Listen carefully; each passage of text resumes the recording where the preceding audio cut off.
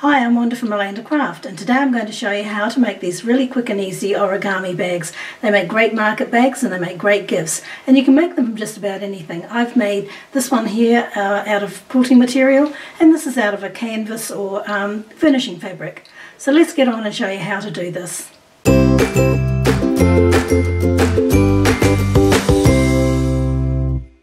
So what you need are two pieces of fabric that measure exactly the same.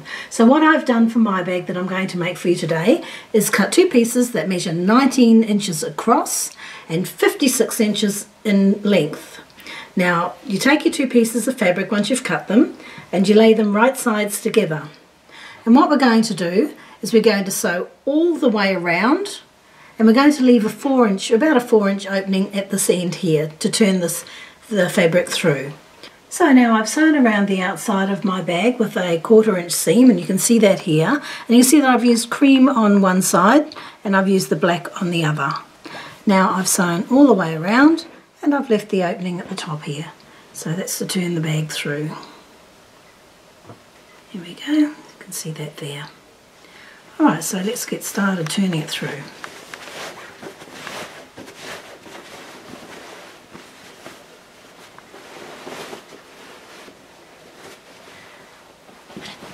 Okay, so once I've pushed, turned it through, I'll push the corners out. Don't have to worry too much about them. And then I'll give it all a nice press. So I've given it a good press and I've top stitched all the way around with about an eighth of an inch and that's going to catch in that opening at the end and it's also going to give our handles a nice finished look when we uh, put this bag together.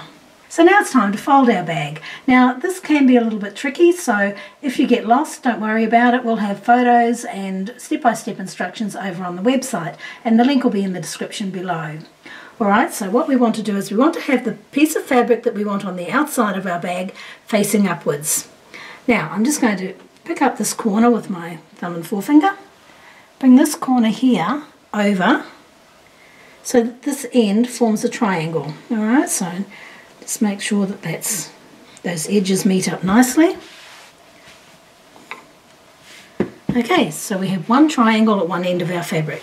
So now we go down to the other end and we're going to fold the next triangle in the opposite direction. So this time I'm going to bring the bottom piece up and lay that along here. Alright, so there we are. So we have two triangles. Now what you need to do, you can see here now that you have a square in the middle.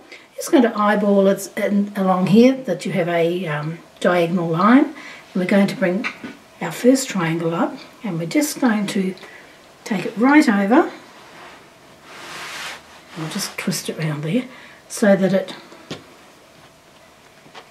lies along the edge of the set end here, this smaller triangle. So you can see I have a large triangle now and I have a small triangle. Now what I'm going to do is I'm going to take the edges, you can see that's got a little bit of a fold there but that's okay because we're going to be sewing that down and I'm going to pin all the way along here just to where those two pieces meet. So I'll do that now. Alright, so you can see now that I've pinned that uh, those two pieces together. And now I'm going to turn the bag over and do the same thing again. Now just flip it over. And don't worry too much about where things are at this stage. As long as you have these two edges matching.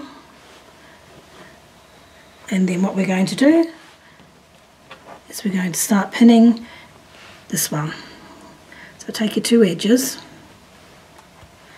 pop in a pin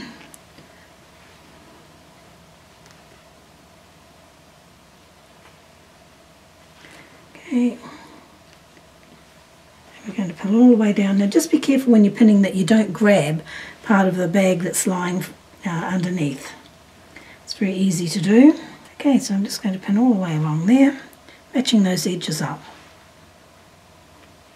Alright, so now that we've got everything pinned, we're ready to go and sew these together with a quarter inch seam.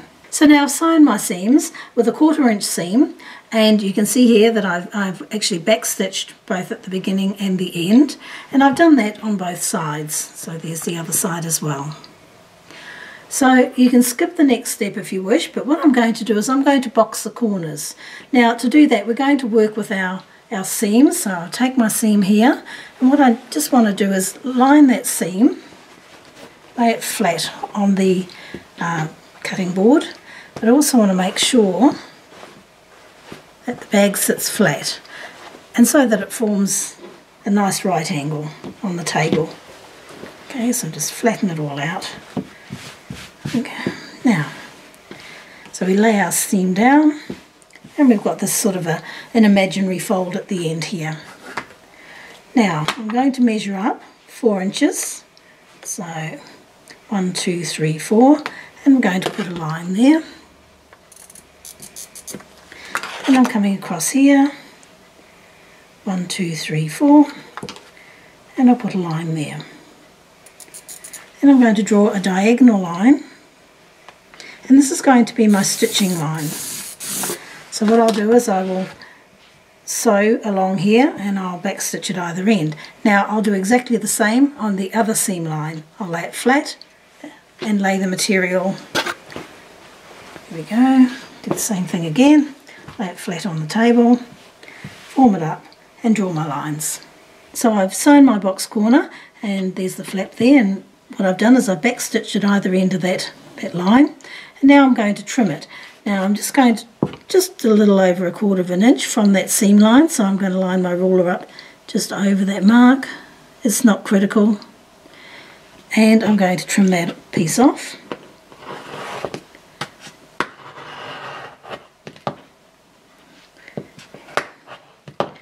Okay, now you can serge along that seam line, you can zigzag across, which is what I'll probably do, or you can just leave it as it is. It's on the inside of the bag, so it doesn't really matter. So now that the corners are done, I can turn my bag through. That's simple enough to do because there's plenty of open space. Let's give it a the corners a bit of a push through. Okay, so it's coming together nicely. There we go. And the next thing we want to do is our handles. Now what we're going to do first is take a piece of material, so a piece of contrasting material is nice, and uh, this piece measures 7 inches by 4 inches, and I'm just ironed over, I've just ironed over a quarter of an inch on either end, you can see that there, and I'm going to top stitch that, and I'll top stitch it at about an eighth of an inch, and once I've done that, I will fold it in right sides together, and I'll sew along here with a quarter inch seam. So as you can see I've stitched down the two ends and I've stitched along here at a quarter of an inch and I'm just going to turn that through because it's made a tube. Just going to turn that tube through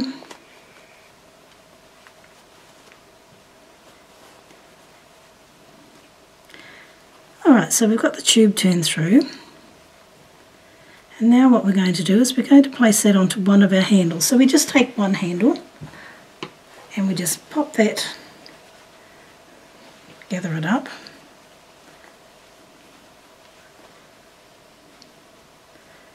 And just pop that through. if you can see that, but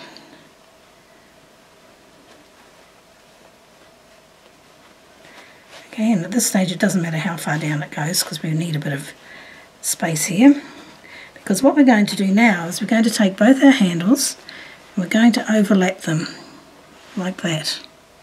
And this is a big bag, so I want to go over about an inch and a half, even an inch and three quarters.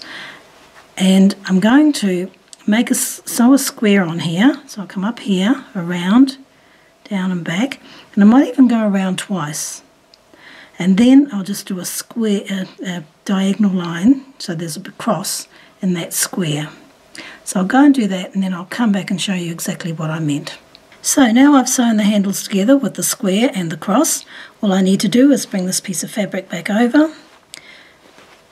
Now just turn it so that that seam line is on the underneath part because you don't want that showing on the top. And that's just going to cover that nicely. And there we are. Our bag is finished.